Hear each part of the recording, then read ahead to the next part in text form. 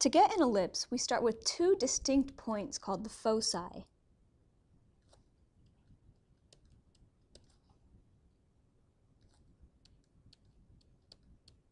Okay, so negative c comma 0 and c comma 0 are called the foci of the parabola. The singular would be one focus.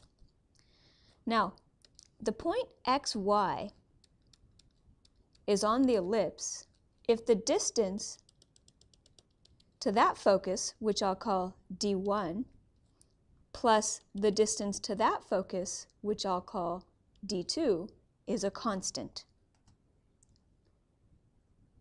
Okay, so if it turns out that, so the ellipse is the set of all points for which d1 plus d2 is constant, and if we were to graph all the points, it's going to look something like this.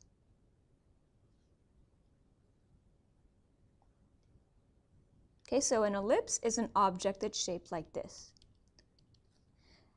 The longest axis here is called the major axis.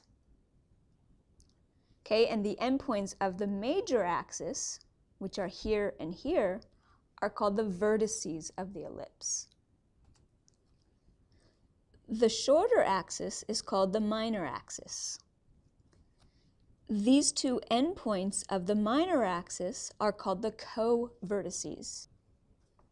Okay, so we have the major axis and the endpoints which are called vertices. We have the minor axis and the endpoints which are called co-vertices. And then we have the two foci. The two foci always lie on the major axis. Okay, the equation of an ellipse centered at the origin is going to look something like this. Let's graph this ellipse here. Okay, well, to graph it, let's start by finding the x-intercept and the y-intercept. Okay, so let's begin with the x-intercept. To get the x-intercept, we set y equal to 0. So we have x squared over 9 plus 0 is equal to 1. So x squared over 9 is equal to 1. So that tells us that x squared is equal to 9. So that tells us that x must be either 3 or negative 3. Now to get the y-intercept, we're going to set x equal to 0. And if x is 0, we have y squared over 4 equals 1. So from that, we have y squared equals 4. And so that tells us that y has to be 2 or negative 2. Okay, so to plot the ellipse, I'm going to plot these intercepts. So x equals 3 and negative 3. And y equals 2 and negative 2. And now I just fill in the ellipse. Okay, so now I need to label the vertices and the co-vertices. Well, the longer axis is the major axis, and so that's going to be this one. The vertices are the endpoints of the major axis. So my first vertex is there, and that's at 3 comma 0. My other vertex is there, and that's at negative 3 comma 0. The co-vertices are the endpoints of the, of the minor axis, and so that's the first one, which is at 0 comma 2. And that's the second covertex, which is at 0 comma negative 2. Okay, let me give you one to try.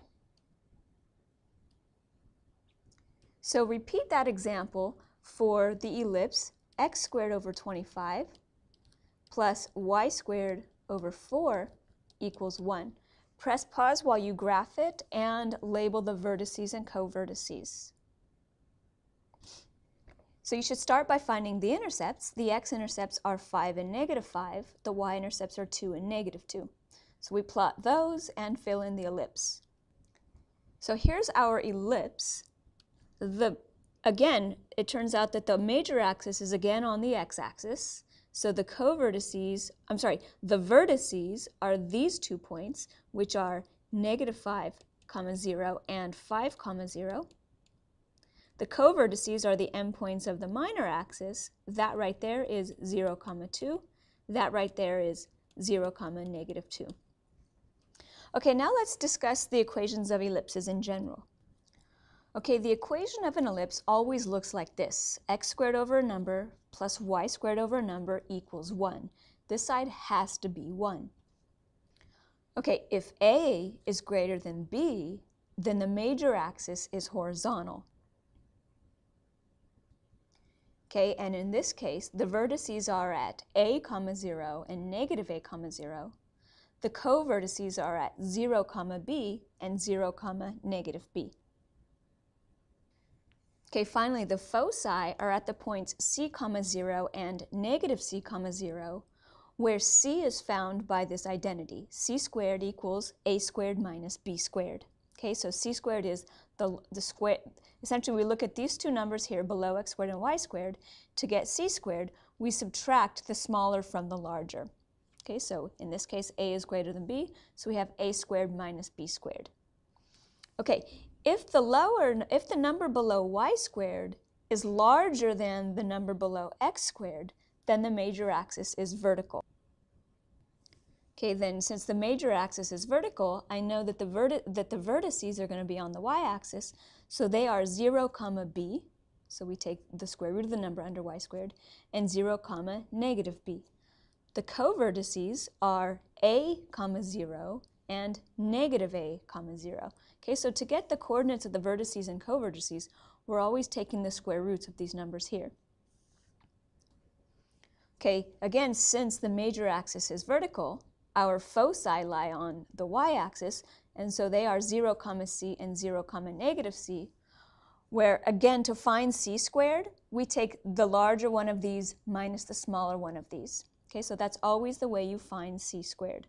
Larger one minus smaller one. Okay, let's solve this problem here. Find the vertices, co-vertices, and foci of the ellipse x squared over 9 plus y squared over 49 equals 1. So the first thing we want to do is decide whether the major axis is vertical or horizontal. When the larger number is below y squared, the major axis is vertical. So this is what we're going to looking, be looking at in this case. Okay, so the vertices are at 0 comma b and 0 comma negative b. Remember that b squared is what's below y squared. So b squared is 49 and a squared is 9. So for the vertices, we have 0 comma b and 0 comma negative b. If b squared is 49, then b is equal to 7. So we have 0 comma 7 and 0 comma negative 7. The co-vertices, the co-vertices now lie on the x-axis. So their coordinates are a comma 0 and negative a comma 0. a squared is 9, which means a is equal to 3. So we have 3 comma 0 and negative 3 comma 0. Okay, finally we need the foci. To get the foci, we need to find out what c squared is. So c squared is b squared minus a squared. So that's equal to 49 minus 9, which is equal to 40. So c squared is equal to 40, which means that c is equal to the square root of 40. And that can be simplified to 2 times the square root of 10, because 40 is equal to 4 times 10. So that means that the foci lie at 0 comma c, so 0 comma 2 root 10, and 0 comma negative c, so 0 comma negative 2 root 10. Okay, so here we have the two vertices, the two co-vertices, and the foci, the two foci are right around here. So that's our ellipse.